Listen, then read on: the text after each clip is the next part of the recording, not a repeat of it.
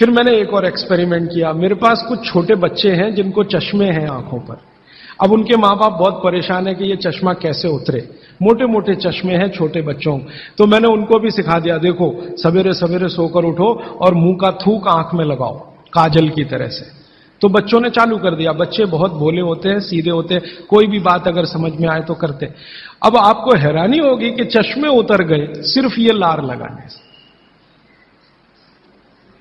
आप भी करके देख लीजिए जिनको भी चश्मे बस अंतर इतना है कि बच्चों को जल्दी उतरे, आपको थोड़ा देर में उतरेंगे, लेकिन उतर जाएँगे।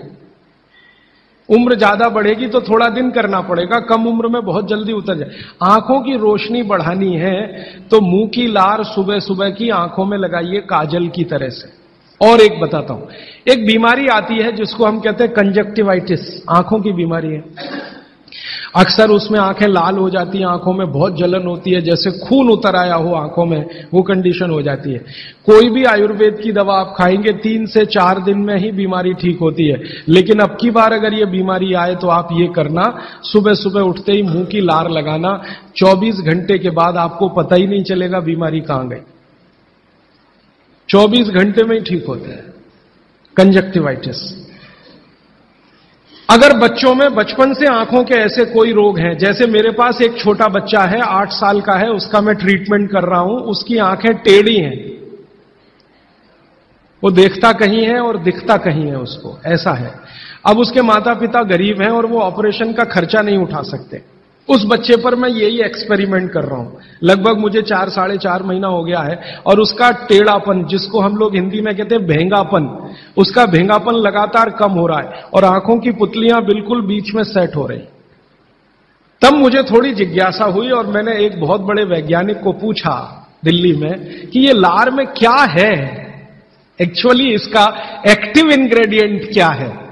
तो उन्होंने कहा, भैया, जितने एक्टिव इंग्रेडिएंट मिट्टी में है, वो सब लार में है।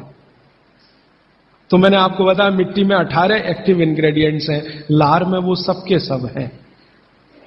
इसलिए लार शरीर के लिए बहुत ही कीमती है, बेशकीमती है। इसको कभी नष्ट नहीं करना। इसकी मदद से आप बहुत सारे रोग ठीक करते और दो चार बातें बता दूँ क्या क्या रोग और ठीक कर सकते हैं। आपके शरीर में कोई दाग हो गया, धब्बा हो गया, जैसे जल गए। जलने का दाग होता है ना, उस पर नियमित रूप से सवेरे की लार की थोड़ी थोड़ी मालिश करते रहिए। छह आठ महीने में धग्गा, धब्बा बिल्कुल साफ़ हो जाए। जले हुए का धब्बा। शरीर में और कोई ऐसा अंग में सफ़ेद दाग दिख रहा है, या काला दाग हो गया, या फलाना हो गया, या ढिमाका हो गया एक्जिमा हो गया, मान लो, खराब बीमारी की बात करूँ एक्जिमा हो गया। एक्जिमा पे रोज सुबह की लार लगाइए, मालिश करते रहिए छह आठ महीने के बाद देखिएगा साफ़। और एक्जिमा से भी ज़्यादा खराब बीमारी है, सोराइसिस, वो भी ठीक होती है, इसी लार से। बस इतना है कि साल भर करना पड़े। मुफ़्त का इलाज है, फोकट का इलाज। बागवट जी ने जितने भी इलाज बताए हैं, सब फोकट के और मुफ़्त के। बाहर जाने की ज़रूरत ही नहीं है। तो आप स्किन डिसीज में इसका एक्सपेरिमेंट करिए, आँखों की बीमारियों में इसका एक्सपेरिमेंट करिए, घाव हो जाए कहीं शरीर में, उस पर एक्सपेरिमेंट करिए फोड़े फिंसियों पर इसका एक्सपेरिमेंट करिए। मैंने ये चारों एक्सपेरिमेंट किए बहुत अच्छे रिज़ल्ट हैं। आप भी करिए रिज़ल्ट आपको भी मिलेंगे। बस इतना ही है कि आप दूसरों को भी बताते जाइए। तो आपने अपना दुख तो कम कर लिया, आप दूसरों का भी कम कराइए।